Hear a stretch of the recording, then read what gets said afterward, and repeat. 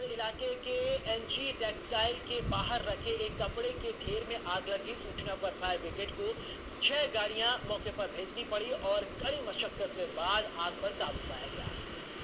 गाजियाबाद की तस्वीर आप देख रहे हैं। एनजी टेक्सटाइल के बाहर लगी आग, बाहर रखे कपड़ों के ढेर में लगी भीषण आग। कड़ी मशक्कत के बाद आग पर पाया गया। काबू